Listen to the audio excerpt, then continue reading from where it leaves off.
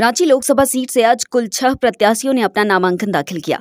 इसमें इंडिया गठबंधन की प्रत्याशी यशस्विनी सहाय एआईएमआईएम पार्टी के अरसद अयूब भागीदारी पार्टी के श्याम बिहारी, बहुजन मुक्ति पार्टी के विनोद उरांव बहुजन समाज पार्टी के मनोज महतो और निर्दलीय से एक प्रत्याशी ने अपना पर्चा भरा है।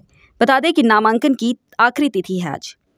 इंडिया गठबंधन, रांची लोकसभा की प्रत्याशी यशस्विनी सहाय ने सोमवार को निर्वाचन कार्यालय में अपना नामांकन पर्चा दाखिल किया। उनके साथ राज्यसभा सांसद महुआ माझी और उनके पिता सुबोध कांत सहाय मौजूद थे। यशस्विनी सहाय ने नामांकन दाखिल करने से पहले शहर भर के धर्मस्थल, शहीद स्थलों, दरगाहों पर पूजा अर्चना की और अपनी जीत की कामना की। इसके अलावा भारी संख्या में समर्थकों और ढोल नगाड़ों के साथ नामांकन करने निर्वाचन कार्यालय रांची पहुँची। नामांकन के बाद उन्होंने कहा कि मैं देश में कई ऐसे ज्वलंत मुद्दे हैं जिसके बिना पर आमजनों से वोट की अपील करूँगी। मेरे ऊपर बड़े बुज़ुर्गों का आशीर्वाद है और मैं रांची लोकसभा सीट से जीत का परचम लहराऊँगी। मुद्दे हैं वो है बेरोजगारी।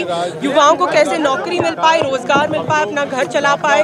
क्योंकि ऐसे बहुत सारे युवा हैं जो शिक्षित नहीं हो पाते तो उनको शिक्षा कैसे मिल पाए? देखिए महिलाओं की तो वैसे भी आप कह सकते हैं महँगाई एक बहुत बड़ा मुद्दा और यहाँ की महिलाओं को सुरक्षा का सुरक्षा और मान सम्मान कैसे दिया जाए उन पर भी काम अगर मैं आपको बताऊँ तो महिलाओं की सुरक्षा के लिए वैसे भी बहुत सारे कदम उठाने की ज़रूरत है। मैं एक मैंने मैं एक वुमन तो मैं विमेन राइट्स पे काफ़ी काम कर चुकी हूँ और यहाँ की जितनी भी महिलाओं से मैंने बात भी की है, वो अपने आप को सुरक्षित नहीं महसूस करते हैं। जिन भी महिलाओं से मैं मिली हूँ, पूछी हूँ कि कैसा आपको लगता है तो वो सुरक्षित बिल्कुल भी नहीं है। तो कहीं ना कहीं आपको महिलाओं को भी ऐसे एम्पावरमेंट देने की ज़रूरत है। अपने आप को आत्मनिर्भर प्लीज़ संभाल कर संभाल कर आप लोग। और यशस्वी सहाय के साथ यहाँ पर हमारे साथ यहाँ पर उनके आप पिता यहाँ पर एआईएमआईएम पार्टी के अरशद अयूब ने बहुत सादे ढंग से अपना नामांकन किया। आज राज्य में जहाँ राज्य सरकार भ्रष्टाचारों को मदद कर रही है वहीं केंद्र सरकार में भाजपा सिर्फ़ हिंदू मुस्लिम पर अपना बयान दे रही है। लड़ रहा है यहाँ का गांडे उपचुनाव से इंतकाब अंसारी जी उपचुनाव लड़ रहे हैं और मैं रांची से लोकसभा का 2024 का भी नामिनेशन करके मैं दो सेट पे आ रहा हूँ। और मैं एक ही कहूँगा, जनता से रांची जिला के जनता को मैं सलाम करता हूँ, हिंदू, मुस्लिम, सिख, ईसाई और आप लोगों को भी, मीडिया वाले आप लोग देखिए, आज भी झारखंड को मंत्री पच्चीस करोड़ पकड़ा गया। कहीं 302 करोड़ पकड़ा रहा है। तो पूरे भारत में तो कोई दवा जड़ी चल रहा है हिंदू मुसलमान का। और वो तो चल ही रहा है। दिल्ली में बैठा एगो बाबा, वो जादूगर ऐसा ताबीज़ बेचता है। जैसे जादूगर ताबीज़ बेचता है ना तो झूठ बोल के ताबीज़ बेचता है। वैसे पूरा देश में घूम रहा है, कहीं रोड शो कर रहा है, कहीं कुछ कर रहा है, वो ताबीज़ बेच रहा है, सत्ता का लोभी है। दस साल उसका देश में वज़ीर आला हैं और अग्निवीर को चार साल में रिटायर होता है और उनको दस साल हो, में फिर पंद्रह साल के लिए चुनाव लड़ रहा है। उनको तो रिटायर कर जाना चाहिए। और एक पार्टी राष्ट्रीय है, उसको भी लोग कहता है, बच्चा है। कोई पप्पू बोलता है, कोई अप्पू बोलता है। आप क्रिकेट एसोसिएशन में देखिए गृह मंत्री का बेटा अध्यक्ष है, वहाँ तेंदुलकर जी को रहना चाहिए। तो बताइए, देश में क्या हो रहा है?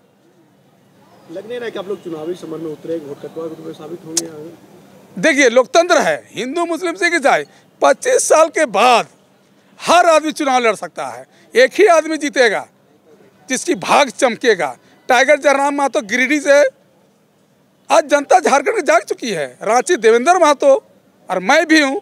हम भी आंदोलनकारी रांची में रहे हैं। मेरा अनको मुकदमा चला है। मैं एक चीज़ बताता हूँ आप लोग को। शशि नाझा केस, शिबू सोरेन, सूरज मंडल, जिस समय सचिना जी की हत्या हुआ था उसका केस का मैं गवाह था। आज हम लोग जैसा लोग को कदर नहीं झारखंड पे। हम लोग ने कुर्बानी दिया झारखंड नेताओं के लिए पर झारखंड नेता सिर्फ़ पैसा पे बिक जा रहा है और झारखंड अलग हुआ आज अलग नहीं आज गुलाम हुआ है। यहाँ का सरकार से और जनता अब जाग चुके हैं टाइगर जराम महतो हम लोग देवेंद्र महतो और इंडिया का सबसे बड़ा मतलब माना जा रहा है इसमें आप अपने पार्टी को कहाँ देख रहे हैं?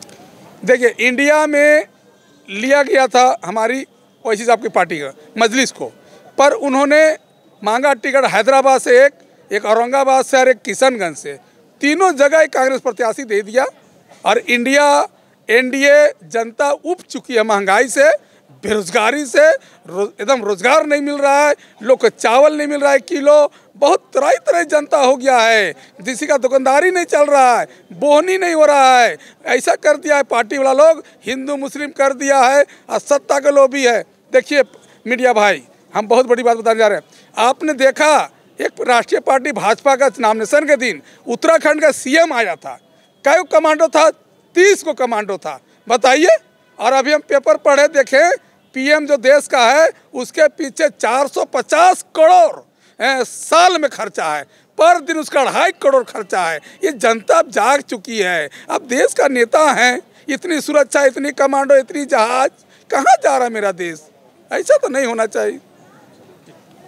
भागीदारी पार्टी के श्याम बिहारी ने कहा कि आज के इस दौर में जहाँ सभी पार्टियाँ अपनी अपनी रोटी सेक रही हैं जनता की चिंता नहीं कर रही।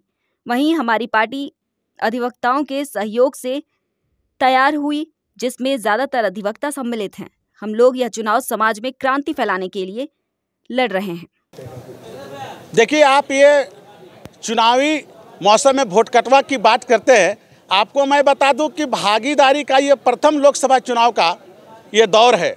हमारी पार्टी 2021 में रजिस्टर्ड हुआ और मैं आपको बता दूँ कि भारत के 12 स्टेट में और इस पार्टी में मैक्सिमम अधिवक्ता लोग हैं। हम लोगों ने देखा कि जो व्यवस्था में नेता मंत्री आज जो जेल जा रहे हैं, जो पब्लिक के हित में काम नहीं कर पा रहे तो हम लोगों को लगा कि कहीं न कहीं विधेयक लाने में, विधेयक बनाने में कोई गड़बड़ी है। इसीलिए हम लोग अधिवक्ता लोग इस भागीदारी पार्टी में मैक्सिमम अधिवक्ता हैं जो विधि का ज्ञान रखते हैं। और हम लोग वोट काटने के लिए ही, समाज में क्रांति फैलाने के लिए चुनाव लड़ रहे हैं। आने वाले दिन में समाज के अंदर ये काला कोट जाएगा तो निश्चित रूप में ज्ञान बांटेगा। और जब तक इस देश के अंतिम पंक्ति में खड़ा व्यक्ति को विधि का ज्ञान नहीं होगा कानून का ज्ञान नहीं होगा तो वह सिर्फ़ वोटर बन के रह जाएगा दारू मुर्गा में बिकता रहेगा उसका मान सम्मान उठता रहेगा जो सत्तर साल में। ये होने वाला नहीं है। लगता नहीं कि एक तरफ़ बीजेपी है दूसरी तरफ़ कांग्रेस को उम्मीदवार है कैसे आप लोग हमने तो कहा ना कि बीजेपी और कांग्रेस और जो भी रिकोनाइज पॉलिटिकल पार्टियाँ चुनावी समर में सबको चुनाव लड़ने का अधिकार है।